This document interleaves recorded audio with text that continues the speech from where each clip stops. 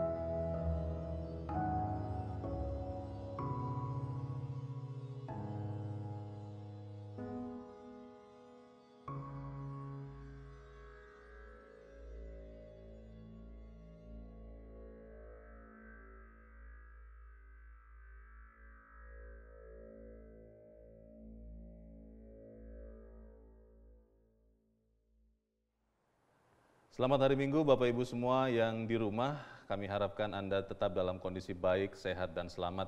Pada hari Minggu ini 14 Juni 2020 kita kembali akan beribadah, kita akan memuji Tuhan di dalam ibadah kebaktian umum.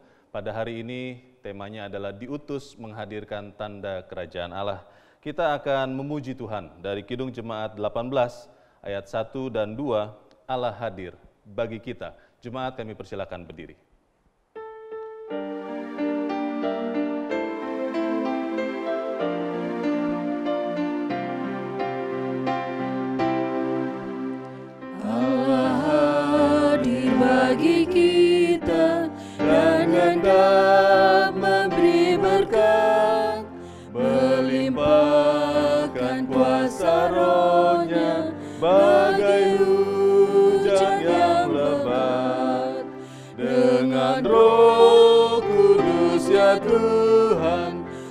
Umatmu berkatilah baharui hati kami oh curahkan kurnia Allah hadir, sungguh hadir di jemaatnya yang kudus. Allah hadir sungguh hadir di jemaatnya yang kudus biarkan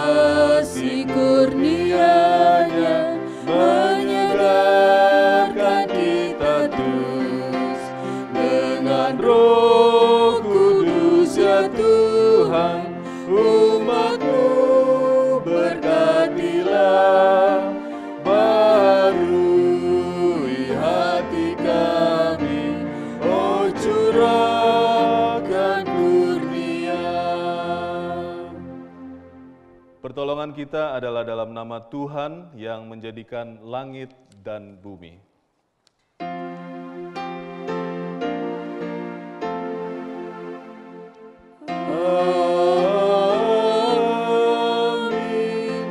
amin, amin. Tuhan beserta saudara. dan beserta saudara juga. Jemaat kami persilakan duduk. Kita akan mengawali ibadah kita pada pagi ini, pada hari ini, hari Minggu ini, dari 1 Petrus 4 ayat 8 sampai 10. Firman Tuhan yang berbunyi, tetapi yang terutama, kasihilah sungguh-sungguh seorang akan yang lain, sebab kasih menutupi banyak sekali dosa. Berilah tumpangan seorang akan yang lain dengan tidak bersungut-sungut.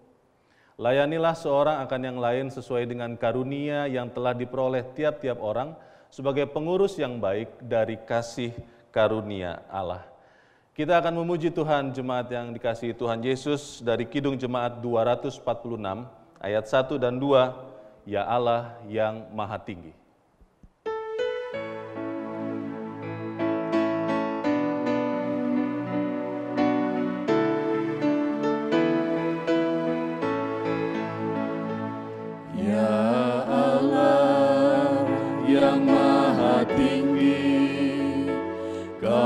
Pencipta dunia ini, kami juga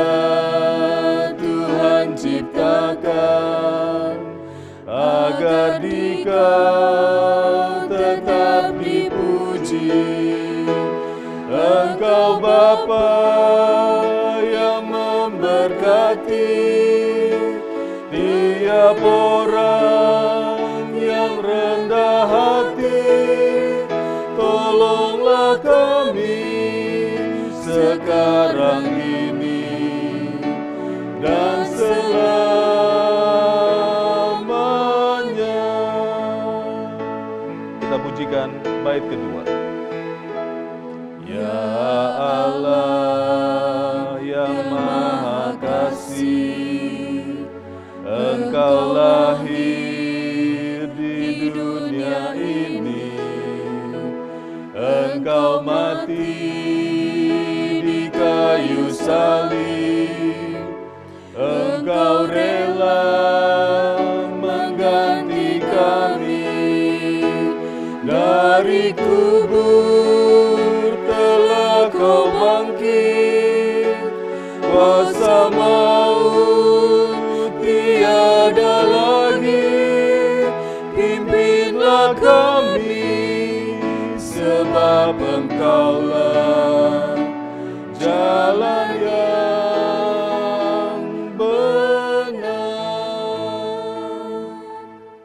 Bapak Ibu semua yang dikasihi Tuhan Yesus, marilah kita mengakui dosa-dosa kita di hadapan Tuhan kita. Mari kita berdoa. Tuhan Yesus kami mohon ampun. Kalau dalam satu pekan yang baru saja kami lewati, kami sudah kembali melakukan perbuatan yang mendukakan hatimu. Kami mohon ampun Tuhan, supaya kami boleh hadir untuk menjadi tanda kerajaan Allah. Engkau yang tahu apa yang kami lakukan, biarlah Engkau saja yang mengampuni kami. Biarlah dengan dosa, dengan darah-Mu Tuhan, dosa-dosa kami bisa ditahirkan. Di dalam nama Tuhan Yesus kami berdoa. Amin. Jemaat yang dikasihi Tuhan Yesus, pada waktu-waktu belakangan ini mungkin kita merasakan kita perlu kekuatan. Tuhan Yesus mengasihi kita. Karenanya kita mengasihi Tuhan dan kita akan memujikan Kidung Jemaat 329 ayat 3 dan 4. Tinggal sertaku.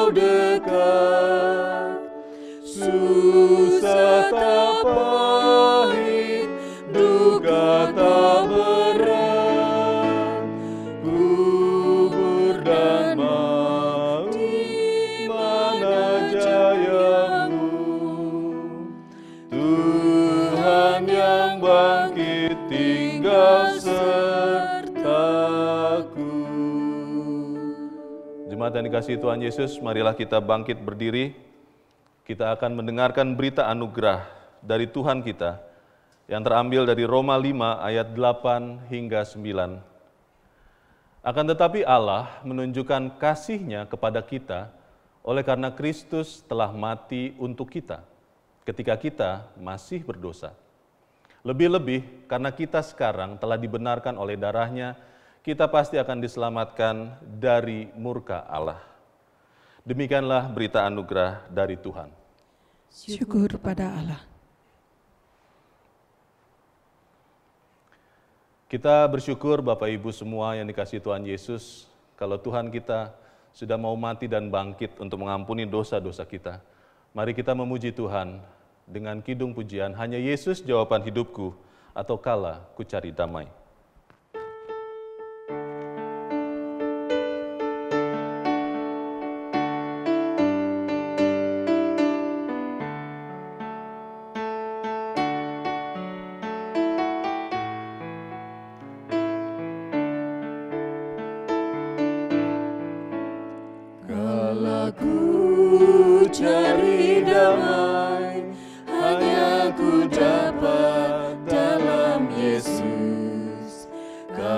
Kala ku cari ketenangan, hanya ku temui di dalam Yesus. Tak satu pun dapat menghiburku, tak seorang pun dapat menolongku.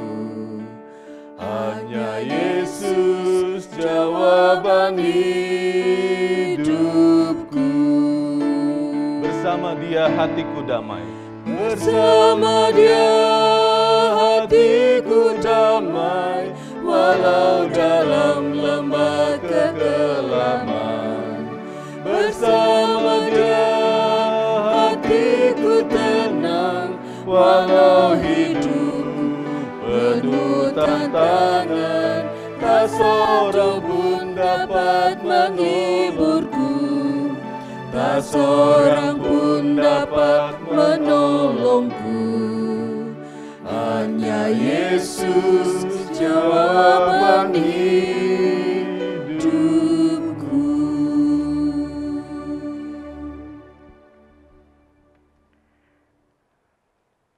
Bapak Ibu Saudara dipersilakan untuk duduk. Kita bersatu di dalam doa. Bapa di dalam sorga, walaupun masih dalam suasana pandemik ini, kami tetap bersyukur ketika kami bersama-sama di dalam ibadah secara online ini, Tuhan tetap mengasihi kami bersama dengan saudara-saudara terkasih kami di rumah. Kami boleh mempersiapkan hati dan pikiran kami untuk menyambut firman Tuhan. Tuhan tolong kami. Tuhan kuatkan kami. Supaya firman yang sebentar Tuhan hendak taburkan buat kami. Sungguh boleh terus menjadi kekuatan bagi setiap kami yang mendengarkan. Terima kasih Bapa. Kami serahkan hambamu. Biarlah ketika hambamu berkata-kata, Tuhan pakai sehingga kuasa roh kudusmu yang senantiasa hadir. Dan kami yang mendengarkan sungguh diberikan kekuatan untuk dapat memahaminya dengan baik. Terima kasih Yesus. Di dalam namamu kami berdoa. Amin.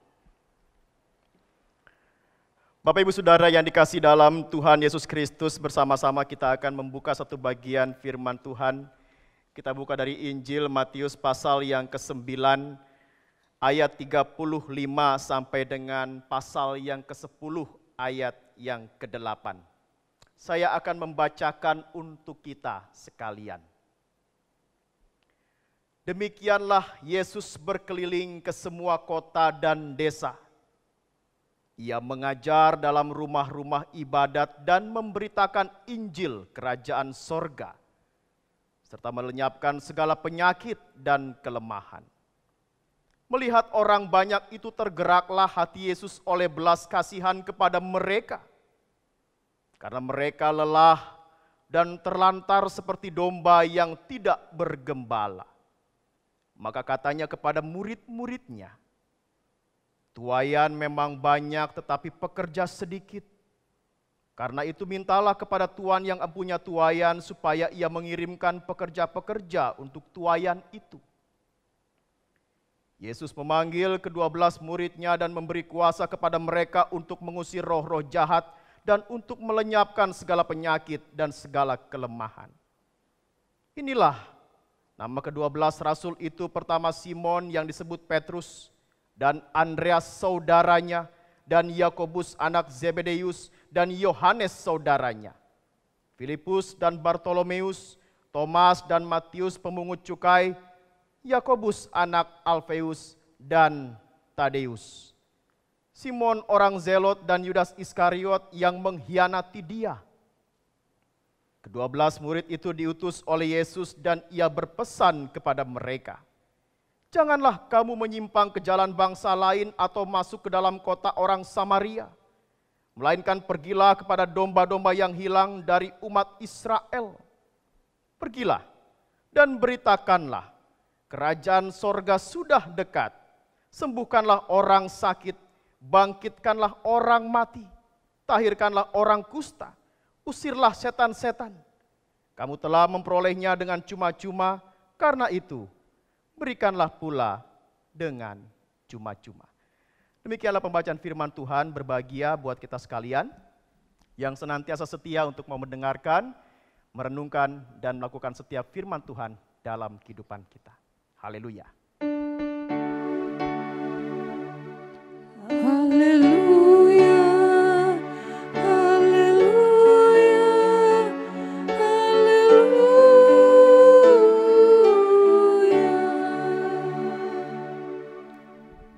Shalom Bapak Ibu Saudara yang dikasih dalam Tuhan Yesus Kristus. Saya sangat berharap Bapak Ibu Saudara sekalian yang ada di rumah tetap semangat. Walaupun kita masih beribadah secara online tapi kita percaya Tuhan selalu beserta kita. Dan biarlah Bapak Ibu Saudara yang berada di rumah tetap memiliki pengharapan di dalam Tuhan sampai saat ini. Saudara-saudara, satu buah tema yang kita mau renungkan bersama-sama pada hari ini diutus menghadirkan tanda kerajaan Allah.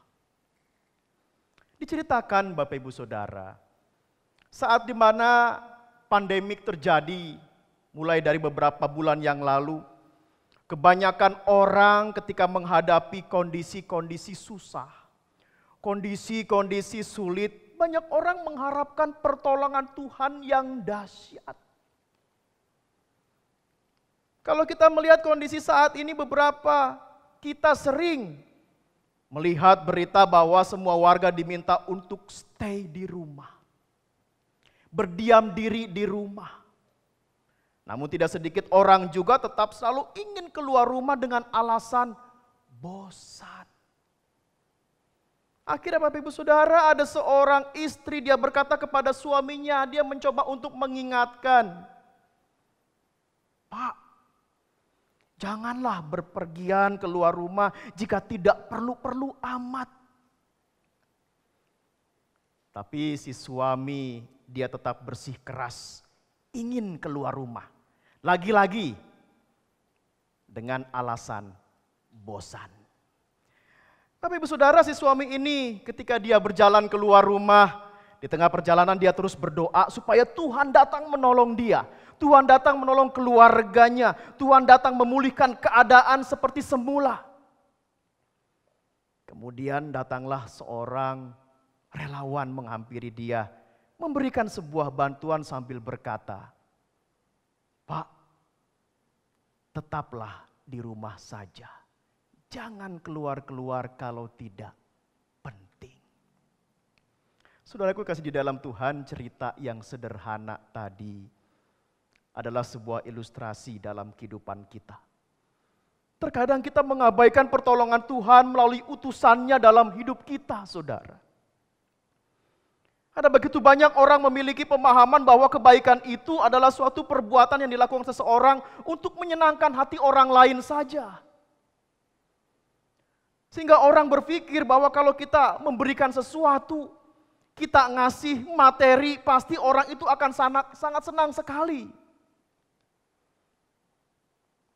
Sehingga rasa-rasanya kalau seperti seorang istri dalam cerita tadi atau seorang relawan dalam cerita tadi yang cuma sekedar mengingatkan, hanya sekedar memberi perhatian dengan ucapan sepertinya tidaklah dibutuhkan, saudara.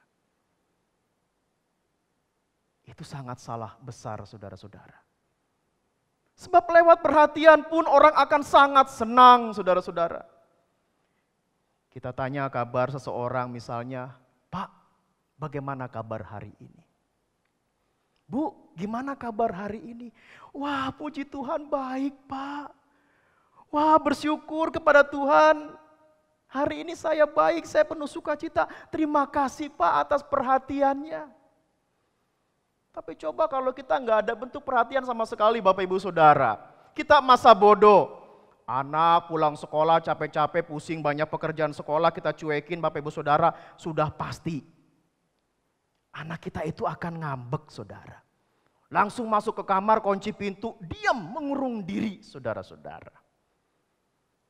Mungkin setelah maghrib baru keluar rumah, kongko sama teman-temannya curhat ini dan itu, cerita ini dan itu, mabar bareng, main bareng, chattingan bareng dan lain sebagainya. Karena merasa dicuekin saudara. Tapi coba saudara renungkan Bapak Ibu. Kalau kita kasih sedikit saja perhatian, walaupun itu bentuknya sederhana saudara-saudara, ya misalnya nggak usah jauh-jauh lah. Saat kita keluar rumah, meskipun nggak lama, terus kita ingat orang rumah, kita ingat orang-orang terdekat kita, lantas kita telepon orang rumah. Kita telepon pasangan kita, kita telepon pacar kita, kita tanya kabarnya. Gimana, udah makan belum? Aku sebentar lagi pulang. Sekarang lagi ngapain? Oh, saudara-saudara. Pasti seneng banget itu rasanya. Pasti merasa, aduh ini begitu perhatian banget nih pacar saya. Perhatian banget suami saya. Perhatian banget nih orang tua saya. Tapi nggak sedikit juga saudara orang bilang jangan coba-coba kalau udah nikah. Waktu pacaran sering telepon, senangnya minta ampun. Begitu sudah nikah, sering telepon diomelin. Ngapain sih buang-buang pulsa telepon mulu? Nggak penting, kurang kerjaan dan lain sebagainya saudara. Artinya apa? Ternyata perhatian juga nggak boleh berlebihan saudara. Tapi memang betul kita akui saudara yang kasih di dalam Tuhan. Sebuah bentuk perhatian itu amatlah penting dan sangat berharga buat kita saudara. Tapi dengan catatan saudara yang kasih di dalam Tuhan, perhatian dengan tindakan nyata. Coba sekarang kalau kita lihat Yesus saudara. Dalam pemberitaan Injil hari ini, Diceritakan ketika dia sedang berkeliling ke semua kota dan desa, ia mengajar, ia memberitakan Injil kerajaan sorga, serta menyembuhkan orang-orang dari segala penyakit dan kelemahan, saudara-saudara. Dan pada saat dia melihat orang banyak saudara-saudara. Tiba-tiba hatinya tergerak oleh belas kasihan kepada mereka. Sebuah belas kasihan yang Yesus nyatakan bukan sebatas dia melihat secara fisik saja. Orang itu terlihat kasihan. Orang itu terlihat oh perlu ditolong dan lain sebagainya. Saudara tidak sebatas itu. Melainkan dia melihat dari sudut kebutuhan secara rohani yang dibutuhkan orang-orang itu juga saudara.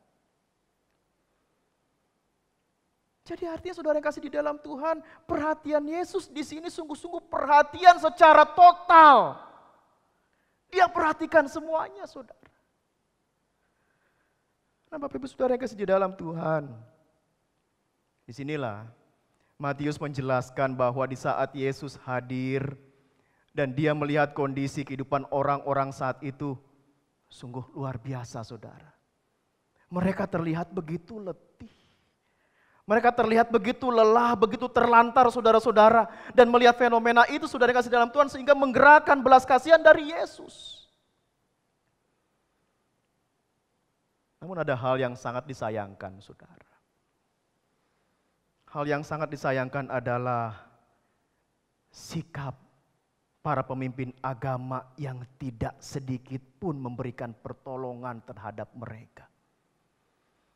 Bahkan bentuk perhatian pun juga tidak, saudara-saudara. Layaknya mereka sibuk dengan urusan mereka masing-masing, saudara kasih di dalam Tuhan. Mungkin kalau disamakan dengan zaman sekarang, saudara-saudara, banyak orang itu pada sibuk dengan gadgetnya masing-masing, saudara. Sampai-sampai nggak peduli, sampai-sampai nggak tahu kalau di sebelahnya itu ada orang yang sedang membutuhkan pertolongan, saudara. Nggak tahu menahu, saudara. Nggak mau ambil pusing, yang penting saya sibuk dengan urusan saya sendiri. Atau mungkin juga ada kebanyakan orang saat ini saudara-saudara, ketika mereka ingin peduli, ketika mereka ingin membantu, ketika mereka ingin menolong saudara-saudara, mereka terbentur dengan rasa takut saudara. Merasa takut menolong, lantaran nanti pertolongannya nggak dianggap. Takut pertolongannya itu nggak diterima atau takut disangka memiliki motivasi-motivasi yang lain. Kalau zaman sekarang, oh takut saya nanti disangka kristenisasi. Saya orang Kristen, yang saya mau tolong bukan orang Kristen. Dan itulah fenomena yang terjadi saudara. Sehingga akhirnya banyak orang, bahkan tidak sedikit gereja saudara-saudara, yang akhirnya berdiam saja. Tidak melakukan apa-apa sebagai orang-orang yang diutus oleh Tuhan. Sungguh ironis saudara-saudara. Maka dengan inisiatifnya saudara Yesus kemudian dia memanggil kedua belas murid, mempersiapkan dan mengutus mereka untuk menghadirkan kasih karunia Allah. Pergilah dan beritakanlah, kerajaan sorga sudah dekat, sembuhkanlah orang sakit, bangkitkanlah orang mati, tahirkanlah orang kusta, usirlah setan-setan. Kamu telah memperolehnya dengan cuma-cuma. Karena itu, berikanlah pula dengan cuma-cuma. Bapak Ibu Saudara yang kasih di dalam Tuhan, sesungguhnya Tuhan menginginkan setiap kita itu berkenan memberikan hidup kita untuk menjadi utusannya. Dengan melayani layaknya seorang hamba yang tidak memikirkan untung dan rugi, yang tidak bersungut-sungut, saudara-saudara. Sebab dalam melayani Tuhan tidak harus kita hebat secara rohani, saudara-saudara. Sebab Tuhan, Dia tidak pernah mencari orang yang sehebat itu. Tidak harus ketika kita ingin melayani Tuhan, siap diutus oleh Tuhan, harus menjadi kaya dulu saudara. Supaya bisa dipercaya orang. Kenapa? Sebab banyak orang yang mampu menolong itu adalah orang-orang hebat dan kaya. Zaman sekarang Bapak Ibu Saudara, mana ada orang yang tidak mampu bisa memberikan bantuan. Jadi sekarang kalau saya tidak kaya bagaimana saya bisa menolong orang? Tidak demikian saudara. Coba bersama kita lihat Yesus. Dia bukan sosok yang mengendarai mobil mewah. Dia bukan sosok yang berpakaian layaknya seperti orang-orang kerajaan, saudara. Melainkan Yesus pribadi yang penuh kesederhanaan. Maka dari itulah saudara, Tuhan mencari orang yang bersedia dengan segenap hatinya untuk melayaninya. Artinya nggak harus hebat saudara-saudara. Tapi punya hati yang mau melayani dan diutus olehnya. Jadi saudaraku yang kasih di dalam Tuhan Yesus Kristus, mari lihatlah kembali di dalam pembacaan kita saat ini saudara. Saat Yesus melihat pemandangan yang menyayat hati, tentu kita menyadari saudara bahwa sesungguhnya dunia saat ini sangat-sangat memerlukan para pekerja yang punya rasa belas kasih saudara. Walaupun itu hanya sebatas hal-hal kecil. Melalui sapaan, melalui senyuman manis yang dilakukan dengan tulus saudara. Dengan ikhlas saudara, dengan redo saudara. Jangan sampai kita melakukan itu semua dengan kepura-puraan. Bibirnya aja senyum saudara, hatinya manyun. Nggak ngerti kita bisa bayangkan hati manyun tuh kayak gimana saudara. Jadi inilah Bapak Ibu Saudara yang kasih di dalam Tuhan. Pelayanan sebagai utusan Tuhan. Nggak perlu harus hebat, nggak perlu harus pinter-pinter amat saudara. Walaupun memang seharusnya jadi orang itu harus smart. Harus pandai saudara. Gak harus kita kuat saudara. Gak harus kita sehebat yang kita bayangkan. Tapi juga enggak sampai cemen-cemen amat saudara. Tapi yang mau saudara. Yang bersedia dengan hati yang tulus. Sekali lagi saya katakan. Dengan hati yang tulus. Dan tentunya tidak bersungut-sungut. Seperti yang dikatakan di dalam 1 Petrus pasal 4 ayat yang ke-9. Berikanlah tumpangan kepada yang lain. Lakukan dengan sukacita, lakukan dengan ketulusan dan tidak bersungut-sungut saudara. Hari ini saudara yang kasih di dalam Tuhan, saudara dan saya bersama-sama kita diingatkan. Berbelas kasih juga itu yang berarti menanggung sesuatu bersama orang lain. Artinya apa saudara? Artinya menempatkan diri kita dalam posisi orang lain untuk merasakan apa yang dideritanya, saudara-saudara. Seolah-olah itu adalah penderitaan kita juga. Sehingga kita tahu dan menyadari sejauh mana mereka membutuhkan pertolongan kita, saudara. Saudaraku yang kasih di dalam Tuhan Yesus Kristus, satu buah cerita saya membacanya di uh, kumpulan ilustrasi Kristen di media online saudara. Diceritakan di sana ada seorang pria di daerah Jawa Barat saudara-saudara. Seorang pria yang dipersiapkan dan dia mau berangkat ke ladang misi. Sebelum dia berangkat dia ingin pamitan dan minta wejangan dari pendetanya. Kalau orang-orang Jawa Barat, orang-orang Sunda, Bapak Ibu Saudara, itu sering membahasakan pendeta itu dengan sebutan kata abah. Bapak yang diagungkan, Bapak yang dihormati, saudara. Datanglah seorang pria ini kepada pendetanya. Dia katakan, Abah, abdi teh, abdi itu saya, Bapak Ibu Saudara. Saya teh mau pergi ke ladang misi besok. Pasti tugas saya itu berat, Abah. Saya mohon bimbingan dari Abah, saya mohon doa dari Abah, saya mohon restu dari Abah. Lalu sang pendetanya berkata, saudara, pergilah dan hati-hatilah kamu di negeri orang. Kamu harus pintar bergaul, kamu harus pintar pendekatan dengan orang lain supaya banyak memenangkan jiwa dan bisa memberitakan kabar baik tentang kerajaan Allah. Lalu sang pemuda itu dia butuh sekali penguatan dari pendetanya. Dia katakan, Adakah sesuatu yang bisa saya pelajari, bah? Bagaimana saya ketika bertemu orang di sana nanti, apa yang harus saya katakan? Apakah saya begitu ketemu orang langsung saya buka Alkitab, bilang tentang kebenaran Kristus? Sang pendeta itu memberikan sebuah pengalaman. Dia katakan, seandainya kalau kamu bertemu dengan seorang tukang tahu, maka janganlah kamu langsung membuka Alkitab dan memberitakan kabar sukacita kepada tukang tahu itu. Tapi berbicaralah, ngobrollah tentang tahu. Mau tahu koneng, tahu putih, terserah. Lalu kalau kamu bertemu dengan tukang lontong, maka kamu juga harus ngobrol tentang lontong. Meskipun kamu nggak tahu lontong itu seperti naon, yang penting kamu ceritalah tentang lontong supaya nyambung. Kemudian kalau kamu bertemu dengan tukang sayur, ngobrollah tentang sayur-sayuran. Sayur sampe, sayur daun pisang, sayur daun pepaya, terserah yang penting tentang sayur-sayuran. Oh, hatur nuhun bah. Biarlah ini menjadi bekal saya untuk di ladang misi saya. Sehingga saya bisa memberitakan kabar sukacita dan menyatakan tentang kerajaan Allah.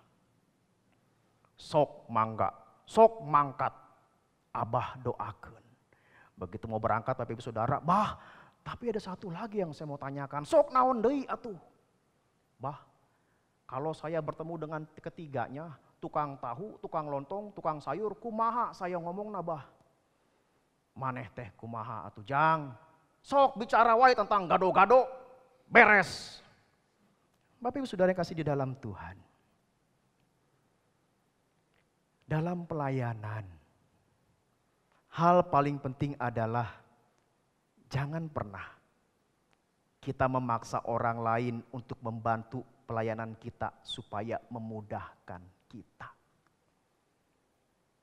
Tetapi lakukan setiap pelayanan kita itu untuk menolong orang lain, saudara.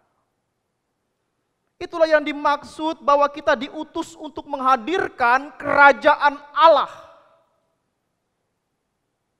Sebab siapa pun yang telah menerima kabar keselamatan ini itu memiliki tugas menyampaikannya kepada orang lain supaya mereka mengalami sukacita dan keselamatan dalam Kristus Yesus.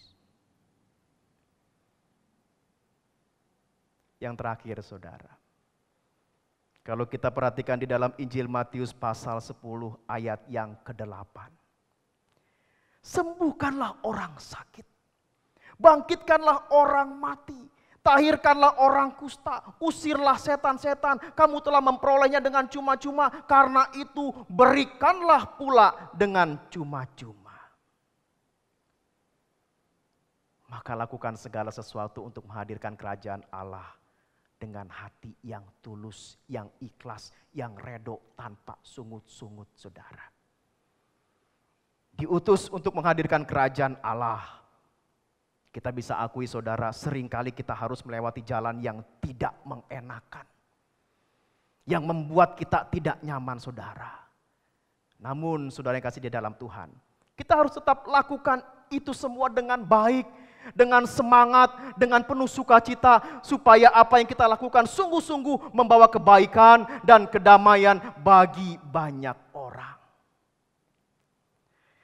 Ingatlah Bapak Ibu Saudara yang dikasih di dalam Tuhan Yesus Kristus. Kita itu telah mengalami perjumpaan dengan Tuhan adalah Tuhan yang baik, adalah Tuhan yang peduli saudara.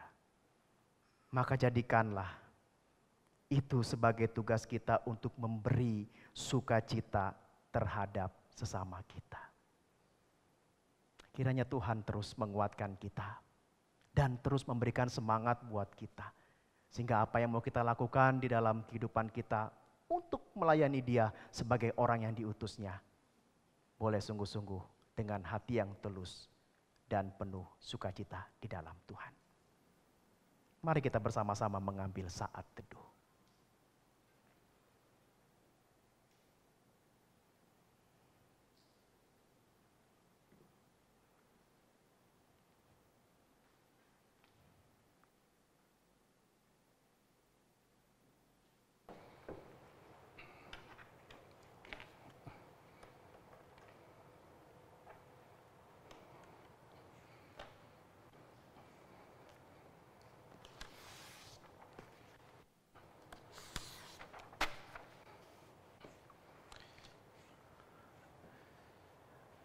Amin.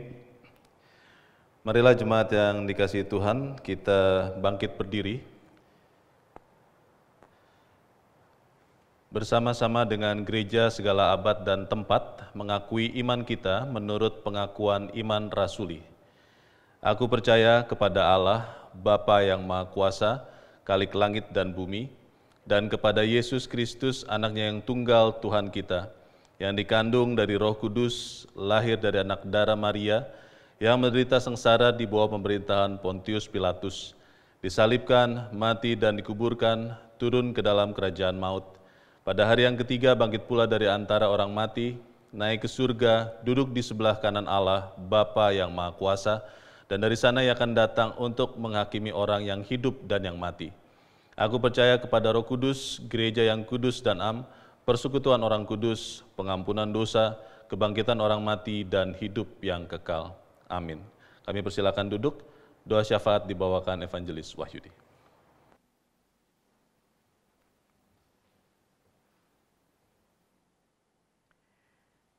Mari kita bersatu di dalam doa. Bapa di dalam sorga, kembali kami datang dan mengucap syukur di hadapan Tuhan. Kami berterima kasih untuk firman yang Tuhan berikan sehingga kami boleh terus dikuatkan dan terus disegarkan oleh Tuhan. Kami bersama-sama berdoa di dalam syafaat kami ya Bapak untuk kehidupan jemaat Tuhan yang boleh ada. Hingga sampai saat ini, di tengah-tengah situasi yang begitu terkadang membingungkan kami, situasi yang sungguh-sungguh membuat kami terus bergumul, kami tetap percaya dengan iman kami bahwa Engkau akan selalu memberikan jalan terbaik untuk setiap kami. Kami berdoa juga ya Bapak, untuk saudara-saudara kami yang terdampak oleh COVID-19, kami percaya mereka juga sungguh bergumul dengan kondisi ekonomi mereka. Kalaupun saat ini mereka tetap berpengharapan di dalam Tuhan, kami yakin dan percaya Tuhan juga yang akan mengutus setiap kami untuk memberikan bantuan dalam bentuk apa pun terhadap mereka yang terdampak COVID-19 ini ya Bapak. Dan bagi mereka ya Tuhan yang sungguh-sungguh dirawat karena terpapar COVID-19 kami juga berdoa agar mereka terus dikuatkan, mereka bisa dipulihkan karena rencana Tuhan selalu yang terbaik untuk setiap kami. Bersama-sama juga kami berdoa untuk gereja Tuhan yang boleh ada. Walaupun sampai saat ini kami masih beribadah secara online, tapi sungguh-sungguh kami tetap memaknai arti persekutuan di dalam Tuhan. Biarlah Tuhan kuatkan setiap kami, khususnya para orang tua yang mungkin mereka merindukan untuk bisa beribadah secara tatap muka, tapi dengan kondisi ini, biarlah Tuhan hibur dan terus kuatkan mereka semua. Terima kasih Bapak di dalam sorga, kami juga bersyukur untuk setiap para pelayan-pelayan Tuhan yang sungguh mempersiapkan segala sesuatunya untuk memberikan siraman rohani bagi jemaat-jemaat yang ada. Tuhan berkati semua pelayan-pelayanmu ini, khususnya di GKI Citra Raya ini bersama dengan tim multimedia, media center Tuhan berkati agar kami semua yang sudah mempersiapkan apa yang menjadi kebutuhan kami untuk ibadah online ini Tuhan berkati supaya rekan-rekan kami terus diberikan kesehatan dan kekuatan. Terima kasih Yesus. Kami juga terus berdoa untuk tim medis yang sampai saat ini berupaya merawat, melayani para pasien-pasien yang ada, khususnya pasien COVID-19. Tuhan tolong kuatkan mereka. Karena ada begitu banyak yang mereka harus pertaruhkan. Maka di sinilah Tuhan, kami bisa melihat kuasamu yang begitu luar biasa terjadi untuk mereka. Kami berdoa juga untuk bangsa dan negara kami, khususnya para pemimpin, para pemerintah, di dalam mempersiapkan new normal, kami percaya ini bukanlah perkara yang mudah. Semuanya membutuhkan proses Tuhan tolong agar apa yang semestinya dipersiapkan dengan baik boleh berjalan sesuai dengan kehendak Tuhan. Terima kasih Bapa. Inilah doa kami. Kami serahkan hanya di dalam nama Tuhan Yesus Kristus. Kami berdoa. Amin.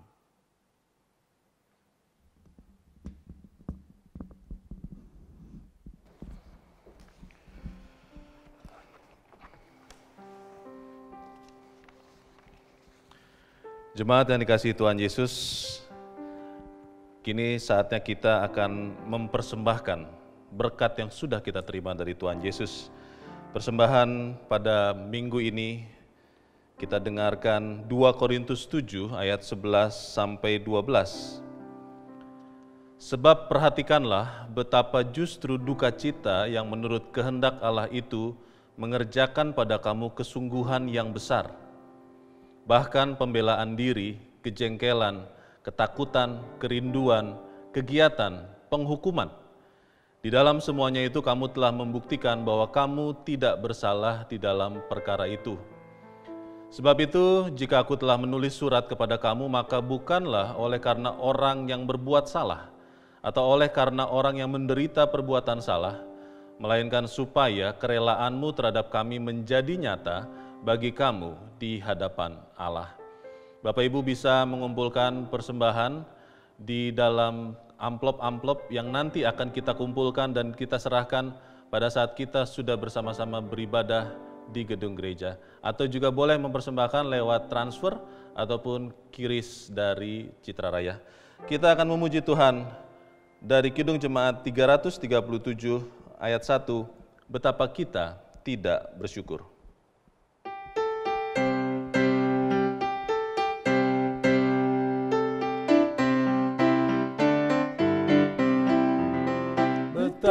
Kita tidak bersyukur. Bertanah air kaya dan subur. Lautnya luas, gunungnya megah.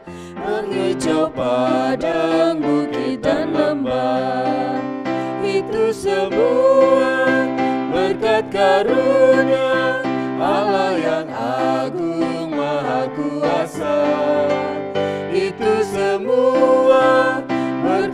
karunia Allah yang agung maha kuasa Mari kita membawa persembahan kita di hadapan Tuhan. Kita satu dalam doa. Segala puji syukur dan hormat kami naikkan kehadiratmu ya Bapa. Untuk penyertaan dan pemeliharaanmu kepada setiap kami, anak-anakmu, khususnya jemaat GKG Citra Raya ini Bapak. Di dalam kondisi pandemik COVID-19 ini, Tuhan, Engkau masih memberikan kesempatan bagi kami anak-anakmu untuk boleh membalas kebaikanmu, kemurahanmu dengan menyatakan kasih kami bagi jemaatmu yang membutuhkan. Tuhan, kiranya pada pagi hari ini kami boleh mengumpulkan persembahan kami bagi jemaatmu yang ada di rumah dan boleh mentransferkannya juga ke rekening yang sudah disiapkan. Kiranya Bapa, Tuhan Engkau kuduskan, Engkau sucikan persembahan ini menjadi kemuliaan bagi namamu. Kiranya juga boleh menghadirkan kerajaanmu di muka bumi ini. Terima kasih Bapa. Terimalah persembahan ini. Di dalam nama Tuhan kami Yesus Kristus, kami berdoa. Amin.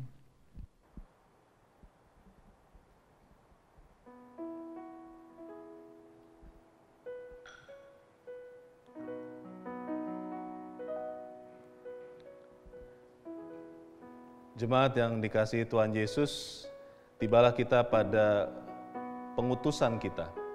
Kita akan menjalani hidup kita sebagai ibadah kita yang sejati. Kita akan memuji Tuhan dari PKJ 185 ayat 1 dan 2. Tuhan mengutus kita.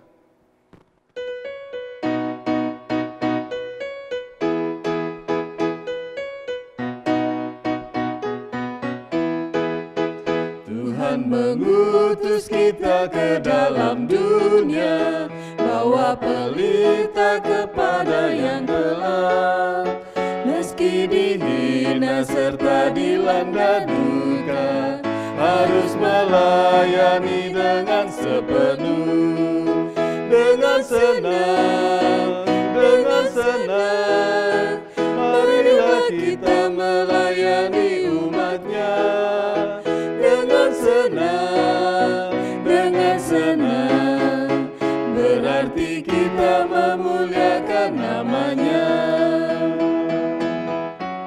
sekalian mari berdiri kita memuji Tuhan. Tuhan mengutus kita ke dalam dunia Bagi yang sakit dan tubuhnya lemah. Meski dihina serta dilanda duka Harus melayani dengan sepenuh. Dengan senang, dengan senang kita melayani umatnya Dengan senang, dengan senang Berarti kita memuliakan namanya Sidang jemaat yang dikasih oleh Tuhan kita Yesus Kristus, pergilah dalam damai sejahtera untuk melayani Allah. Syukur, kepada, Allah. Mari kita bersama-sama arahkan hati dan pikiran kita dan terimalah berkat Tuhan. Kasih karunia, rahmat, dan damai sejahtera dari Allah Bapa, Putra, dan Roh Kudus. Kiranya menyertai kita sekalian dari saat ini sampai dengan selama-lamanya. Amin.